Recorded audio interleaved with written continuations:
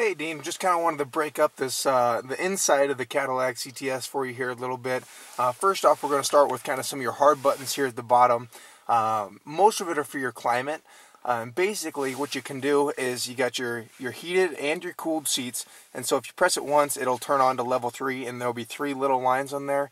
Press it again, it'll go to level two, then to level one, and so forth to off.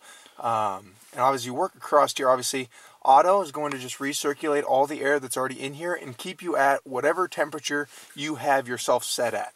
And the way you can set your temperature are through these two buttons here. And so, obviously, it's dual climate, so the passenger can be at a hotter or colder temperature than the driver can be. If you would like the whole system, you know, to turn your fan speed up or down, and then also you can turn the whole system off as well if you don't want to have any kind of air flowing out. And then you have your, your front and your rear defrost. And then this final button here is going to recirculate the air that's already in here. Um, this button right here is your power button, which turns off your whole screen for you and your radio as well. And then finally, this home button, that's going to, every time you hit that, that's going to bring you back to this page here of your CUE system, which is kind of where the CUE system starts.